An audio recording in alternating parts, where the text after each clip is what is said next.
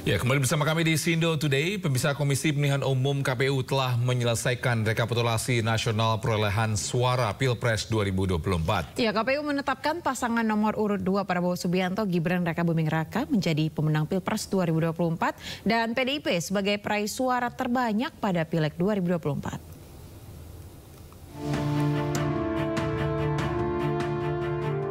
Hasil Pilpres 2024 diumumkan langsung usai KPU merampungkan rekapitulasi nasional dan rapat pleno pada Rabu malam. Hasil rekapitulasi KPU secara nasional ini terdiri atas perolehan suara di 38 provinsi dan 128 panitia pemilihan luar negeri PPLN.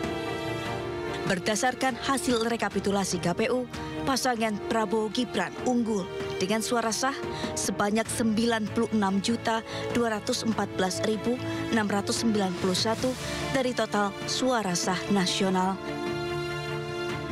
Sedangkan pasangan Anies Baswedan dan Muhaimin Iskandar memperoleh suara 40.971.906 suara dan pasangan Ganjar Pranowo Mahfud MD mendapat suara 27.040.878 suara. Dengan demikian, KPU menyatakan paslon Prabowo Gibran memenangkan Pilpres 2024. Haji Anies Rashid Baswedan PhD dan Dr. Haji, Haji Abdul Muhaimin Iskandar sebanyak 40 juta 971.906 suara. Haji Prabowo Subianto dan Gibran Raka Buming Raka sebanyak 96 juta 214.691 suara.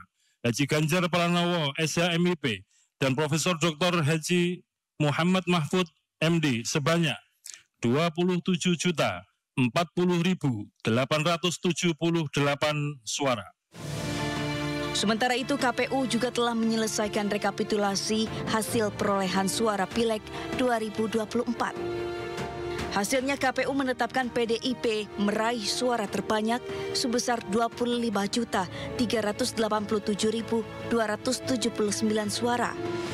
Sementara itu Partai Golkar menduduki peringkat kedua dengan perolehan suara 23.208.654